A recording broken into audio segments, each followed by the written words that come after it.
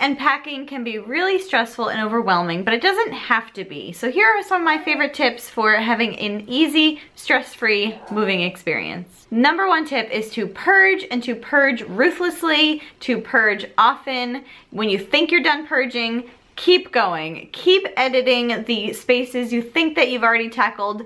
Honestly, you guys, there is nothing better than packing as little as possible and only the things you know you're absolutely gonna love. And when you move into the new house, you're not gonna miss any of those things that you were like kind of on the fence about. Once they're gone and out of your home, out of your mind, you can just move into the new space with the items you love and really unpack and make the space your own without a million extra boxes everywhere of the random stuff you don't know what to do with. Tip number two, do not pay for boxes. You guys can get so many free boxes from so many different places. I understand if you're on a time crunch and you don't have time to maybe go out or ask friends, but if you have even just a little bit of extra time, you can get free boxes. My brother-in-law works retail and he was able to give me so many free boxes from the, you know, items that come into the store. Another great resource is liquor stores. I found liquor store boxes to be the best for packing fragile items because they're already pre sort of like organized for you with the little dividers that the liquor bottles would go into. I found these to be perfect for my milk glass collection, for fragile home decor items. Like I said, another great option is grocery stores because the big boxes that bananas come in as well as apples, those are perfect for moving because they're big and sturdy. They're meant to hold a lot of weight and again, they're free. And one more free resource for boxes is to go on Craigslist or local Facebook pages or somewhere, some sort of online um, buy, sell, trade site. And a lot of people that have moved are more than willing to give away their boxes. And something else you can do that's really helpful if you have kids, just call ahead to some stores and just let them know that you're moving, that you're looking for boxes, and they could probably have them ready for you just outside the store. Go and pick them up, put them in your trunk. You don't have to get the kids out and be hauling boxes around. If you just call and ask, they are more than willing to help you out and to provide free boxes. Another tip is to not remove things from their original containers as often as you can. So what I mean is like if you have a dresser and they have all these drawers filled with items,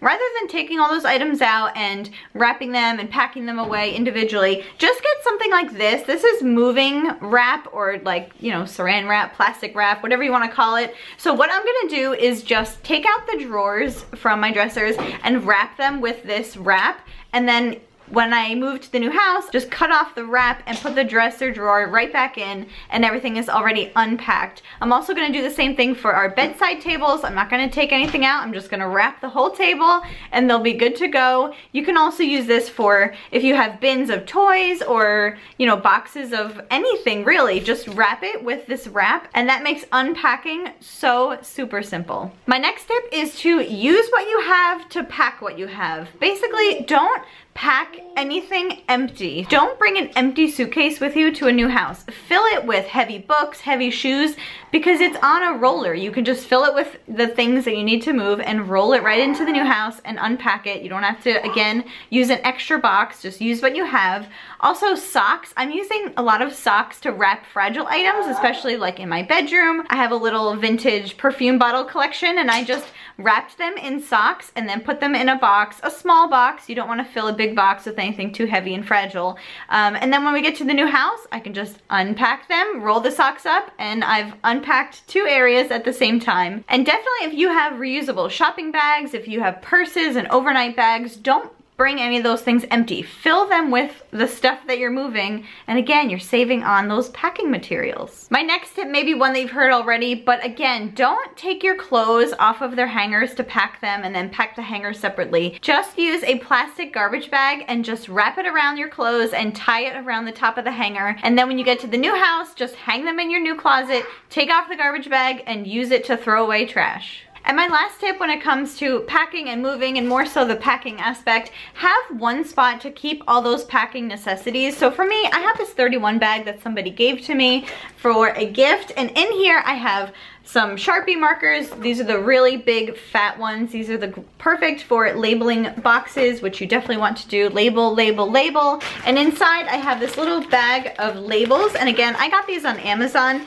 They came in a roll like this, but it was much longer. I separated out the ones I wasn't gonna use, like bathroom number three and a study. Our house doesn't have that. So I just separated out the ones I'm going to be using and I'm gonna use these to label all the boxes so that everyone knows where everything goes and there's no confusion on moving day. Also inside I have my wrap that I just showed you and some packing tape. Things like packing tape and Sharpies, you can buy these at like the dollar store, but for me, I would rather spend just a tiny bit more money. This was literally $1.99 versus the dollar store's $1, but it's so much better quality. I just want everything to be working. I want everything to be sturdy. Again, with the markers, I don't want them to run out after I write on five boxes. I sprung for the $3 Sharpies pack of two um, and spent just a little bit more money, but I know I'm getting better quality. And one tip when you're using packing tape is to fold over a little corner of the edge of your tape when you wrap a box. That'll make it so easy to unpack the boxes when you get into the new house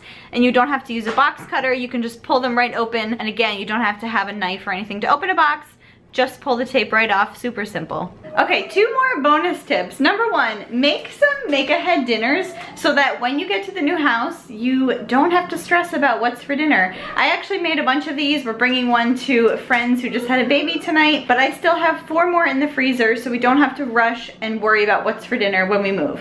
Okay, bonus tip number two. This one's really important. Have somewhere to keep all of those important like mortgage documents and all sorts of things. You're gonna get quotes from contractors or just the plethora of documents you're going to receive. Have somewhere to put them. I got this little file folder from the Dollar Tree, but you could have a binder, you could have a planner, just something that's dedicated to the house. Keeps everything organized and all in one place. So those were my packing and moving tips I wanted to share with you guys. We are still little less than two weeks out from our actual move. So these are the things we've tackled so far. I will have more tips to share as we get closer to that moving day. So I hope you found these helpful. If you are moving or you enjoyed these moving tips, definitely give this video a thumbs up. And I cannot wait to take you guys to the new house and show you how everything gets all set up and organized and renovated. And I'm so excited. If you have not and you would like to, definitely click my face right here and subscribe. Then you will know all about the upcoming renovations and house moving progress. Thanks so much for watching guys. I love you and I'll talk to you soon.